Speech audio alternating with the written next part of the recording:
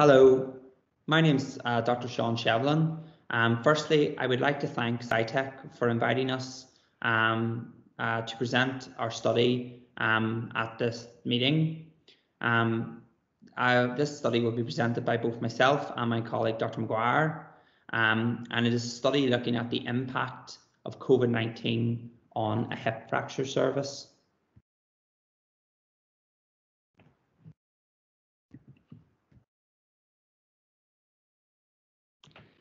In terms of some background, um, I am I am on the right hand side of the screen. Uh, my name is Dr. Sean Shevlin. I'm a senior anaesthetic registrar and I'm working at the Royal Victoria Hospital Belfast, um, which is situated in Northern Ireland. I have a keen interest in medical education, regional anaesthesia and trauma orthopaedic anaesthesia, having completed an advanced fellowship. My colleague, Dr. Mark Maguire, on the left of the screen, is also a senior anaesthetic registrar also working in the Royal Victoria Hospital, Belfast. He is currently completing his final year of training and, and is doing advanced fellowships in regional anaesthesia, trauma and resuscitation. We'd also like to thank the Belfast Trust for allowing us to conduct the study and the study was approved through their Quality and Improvement Board. Finally, we'd like to thank Dr. Nick Black, Dr. Kira O'Donnell and Dr. Julie Craig, three other members of our study group who helped to run the study. Just in terms of some background, Northern Ireland is uh, this little aspect marked by the red pointer on Google Maps. Um, it's part of the United Kingdom and has a population of 1.9 million. It's largely rural country and the capital is called Belfast with a population of 350,000 which is where the Royal Victoria Hospital is situated. Northern Ireland is famous for both the troubles in the 1970s, but also the final construction of the Titanic. Um, and if you're ever visiting Belfast, I'd highly recommend that you go um, to the Titanic building pictured here, which is excellent. The Royal Victoria Hospital is a large tertiary referral hospital. It has 80,000 inpatients and 250,000 outpatient appointments per year. Importantly for this study, it is the regional trauma centre. The Royal Victoria Hospital is famous for many things, but two things I'd like to mention is both Frank Pantridge, pictured here on the right, who was the inventor of the portable defibrillator, which we can all agree has revolutionised modern medical practice. And it is also a pioneering centre for both orthopaedic and vascular procedures in the 1970s due to the high volume of gunshot wounds which it received.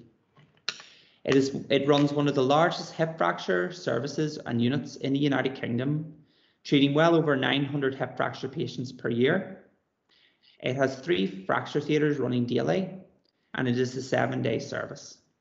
And all data we, that was collected locally is inputted into the National Hip Fracture Database, which is a large independent um, database which looks at all hip fractures in the United Kingdom. I obviously don't have to discuss much about COVID-19. We all know a lot about it and it's impacted our lives greatly. But in terms of its effect in Northern Ireland, which are important for this study, COVID-19 was declared a global pandemic on the 11th of March. However, it only really re um, reached the shores of the United Kingdom uh, later on, a couple of weeks later, and there was the commencement of what was commonly known as the lockdown on the 23rd of March 2020. What did lockdown mean for our country? Um, the United Kingdom and Northern Ireland, as part of the United Kingdom, instigated a set measures in response to the pandemic in light of global restrictions trying to contain the spread of the virus, which was known as lockdown. This lockdown resulted in the majority of the population staying at home with a subsequent reduction in non-COVID hospital admissions. This caused a significant change in our working patterns and the service we delivered. And very much it was a stepping into the unknown for us. However, in hindsight, Northern Ireland as part of the United Kingdom was largely spared during the first surge. However, subsequently, our numbers, both in terms of amount infected with COVID-19 and mortality figures, have greatly increased The aim of this study was to analyse how the initial surge of COVID 19 and with this associated lockdown impacted patients presenting with hip fractures to this tertiary trauma centre. In addition, we aim to describe how the COVID 19 pandemic affected patient demographics, perioperative uh, management, and outcomes. So, why do we think outcomes might be impacted by COVID 19? Well, clearly, this classic patient presenting with a hip fracture is generally old and frail and with multiple comorbidities, something which runs hand in hand with patients who present with severe COVID 19. But not just that, as I've alluded to in the previous slide, um, the impact of lockdown um, and the, the and the result of the increasing amount of COVID nineteen in Northern Ireland resulted in significant institution, institutional changes in our unit. In anticipation of the increase in the amount of patients with COVID 19 requiring hospital treatment, there was a significant reallocation of um, theatre staff to increase local critical care bed capacity. This had a result knock on effect with reduced capacity to deliver many of the urgent and expedited services normally delivered on the Royal Victoria Hospital site, which included the trauma and hip fracture service. In addition to reduced theatre availability, changes in our normal day to day practice were negatively affected, which resulted in a reduction in theatre efficiency. Examples would include us waiting, having to wait pre-operative COVID-19 swabs, which initially took a significant time. The time taken to don and doff personal protective equipment for staff. As I've alluded to, there was a general reduction in the amount of staff available in the trauma theatre. And there was no movement in and out of theatre allowed whilst operating. Although that may have changed in our practice now, at the time we deemed that the best thing to try and reduce um, risk to both staff and to patients. There was also the concern um, whenever we performed some form of airway manoeuvres um, as part of a general anaesthetic of um, aerosolization, and uh, this was this is widely known as aerosol generating procedures.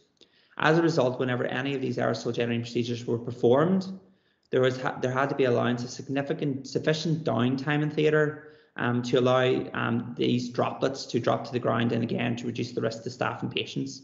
All of this reduced the efficiency of our theatre, um, reduced the, we, we um, which we presumed may reduce um, the efficiency of this the fracture service that we could provide, and we thought that this may impact on the outcomes of these um, elderly, frail um, hip fracture patients.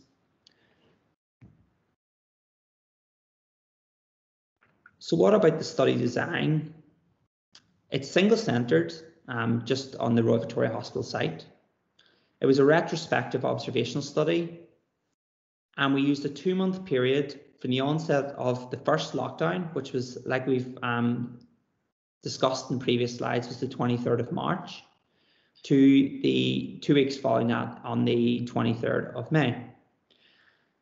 To try and make our results more powerful, um, we decided to compare this to previous years.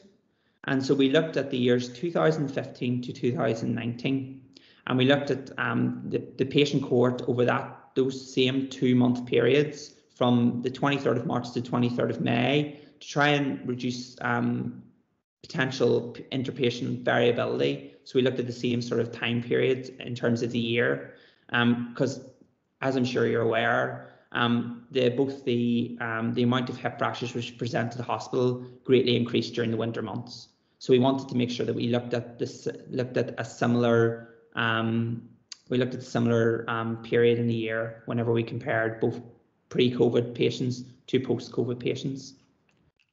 Now I'm going to hand over to my colleague Mark Maguire, who's going to discuss um, uh, the exclusion exclusion criteria and then discuss um, both the results um, and the conclusions from the study. Thank you. Thank you, Sean. So the main uh, inclusion criteria included those aged 60 or above who were admitted to the Royal Victoria Hospital with a hip fracture. Uh, we are aiming to select a typical frail elderly hip fracture patient for this cohort. Uh, and for that reason, we excluded anyone with a high energy energy high energy injury any pathological fractures, as they tend to have worse outcomes, or any patients who underwent surgery in other units prior to admission. Um, we had repurposed some local elective orthopedic theatres to provide anaesthesia for younger hip fracture patients who went underwent total hip replacements. But again, we didn't feel like this met with our frail fracture cohort, so they were also excluded. With regards to data collection, details of demographics, operative or non-operative management, time from admission to surgery, anaesthetic type, and ASA grade were retrieved from our hospital's inpatient fracture uh, database known as the Fracture Outcomes Research Department or FORD database. This database contributes to the National Hip Fracture Database, which allows us to compare our outcomes with other centres within the UK. As already mentioned, the primary aim of the study was to assess how patient demographics, perioperative management, and patient-based outcomes differed pre and post COVID-19 by comparing a 2020 cohort group to the similar time period from 2015 to 2019. There were four key outcomes that are commonly measured in hip fracture populations, and we've included them in this study. The percentage of patients who undergo operative management, we aim to fix every hip fracture, even if only for palliative intent um, or for pain control. We also looked at time to theatre as a measure of our overall efficiency, 30 day mortality, and our anaesthetic technique. We then performed a specific subgroup analysis of COVID positive versus COVID negative patients from our 2020 cohort to try and determine if there are any outcome differences. The COVID status was determined by polymerase chain reaction test for SARS-CoV-2 from paired nasopharyngeal and oropharyngeal swabs as per our national guidelines. We've included a table from our uh, paper which uh, describes some of our baseline characteristics and also some of the outcome uh, measures that we have already mentioned. If we look at the first red box, we can see that we had 20, 20 in, in 2020, we had 126 patients admitted. This compares with an average of 114.8 over the five preceding years. If we go on to look at our patient demographics, they look broadly similar between the two groups. And specifically looking at 2020, over almost 90% of our patients with a hip fracture were ASA grade three or above which goes on, which uh, suggests that our patients have a significant associated comorbidities. And again, it is not therefore not surprising that these frail patients remain at significant risk of sustaining a fall and subsequent hip fracture despite the COVID-19 lockdown restrictions. It is encouraging that we were able to operatively managed 97.6% of our hip fractures. This compares with a baseline average of 97.9% in the preceding five years. Of the three patients who were not operated on, they were all felt to have had a palliative process and were in the active stage of dying, and therefore uh, an operation was not felt to be in their best interests. Time to theatre actually reduced during the 2020 cohort. Our anaesthetic type suggested a statistically significant increased use of spinal anaesthesia when compared to the preceding years. And encouragingly, our 30 day mortality was statistically unchanged when comparing the two groups. This next slide, I want to look more specifically at the conduct of our anesthetic. Here we are comparing spinal anesthetic in the red versus general anesthetic in the blue over the previous six years. And as you can see, there is a general trend towards an increase in spinal anesthetic versus and a subsequent decrease in general anesthetic. To give some background, there is currently no strong prospective evidence that either a general anaesthetic or a spinal anaesthetic confers a mortality or morbidity benefit to hip fracture patients. However, as Sean has already alluded to, during the uh, COVID 19 uh, pandemic, we have been trying to reduce our aerosol generating procedures to prevent uh, transmission from patient to staff. There's lots of debate about what exactly constitutes an AGP. However, very much felt that a spinal anaesthetic avoids any risk of an AGP when compared to a general anaesthetic. And as we've mentioned in 2020, 87.8% of our patients underwent a spinal anaesthetic, which was statistically significant when compared to a 69% average in the preceding five years. However, I think what this chart does go to show that it's not a sudden change and that there has been a general trend towards an increase in spinal anaesthetic within our department over the last number of years, and this has potentially confounded this result. So in summary, when comparing our pre and post COVID-19 cohorts, the number of admissions has remained unchanged, with 126 patients admitted in 2020 compared to 114.8 average over the preceding years. The majority of our patients remain frail and elderly, as already discussed, and we have demonstrated a statistically significant increased use of spinal anaesthesia. Our efficiency improved during the 2020 cohort. We hypothesize that this may be due to the lockdown restrictions reducing other uh, fractures uh, in our um, in our trauma unit and allowing a greater proportion of our fracture hip fracture patients to be treated sooner. And as we've already mentioned, our 30-day mortality has remained unchanged. We'll now look more specifically at the subgroup analysis of our COVID-19 positive patients. Nine of our patients, or 6.8% of them, tested positive for COVID-19. This is lower than other studies carried out at the same time in the UK and does suggest an overall reduced prevalence in Northern Ireland. All were managed operatively and all were managed with a spinal anaesthetic. However, there was a significantly higher mortality of 22%. We do recognise that these are small numbers and this may limit some of the conclusions that we can make from these figures. However, if we now look at other publication uh, produced around the same time period as ours, which looks specific specifically at mortality in COVID positive patients undergoing surgery.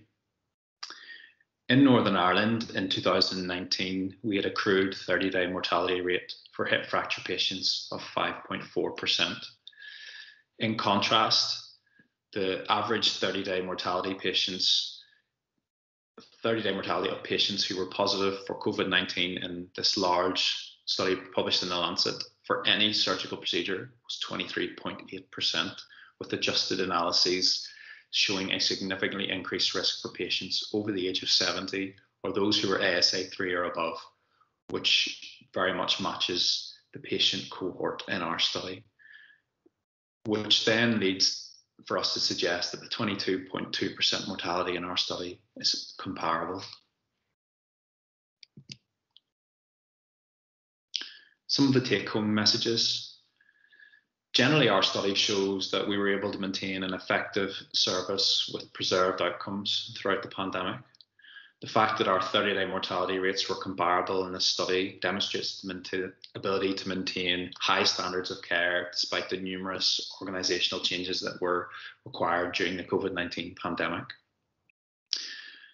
98% of our patients were managed operatively, with 88% of those under spinal and again, this suggests a trend towards increased spinal anesthesia with an aim to reduce our aerosol generating procedures.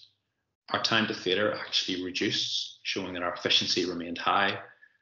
And although we had small numbers, we were able to, to determine that testing positive for COVID 19 demonstrated a significant increase in 30 day mortality, with COVID positive patients having nearly 10 times a higher mortality than COVID negative patients. and this broadly matched with other described mortalities in other studies. And this does warrant the need for further research as it brings some ethical considerations for how best we manage COVID positive patients who have a hip fracture. For example, do we delay the timing of surgery to allow them to uh, improve from a respiratory point of view from a COVID 19 um, infection? Or do we consider not managing all of these patients operatively, given the fact that they have such a high mortality? So there's many more questions that need to be answered from this. We've included a QR code, so if anyone wants to scan it, they will have access to our publication, which remains uh, open access at present. We've included the list of our references. And we'd just like to thank again SciTech for giving us the opportunity to present uh, at their conference. Um, if anyone has any questions, both uh, myself and Sean have included our personal email uh, addresses, so feel free to contact us and we'll answer uh, your questions as best as we can. But thank you again. Thank you.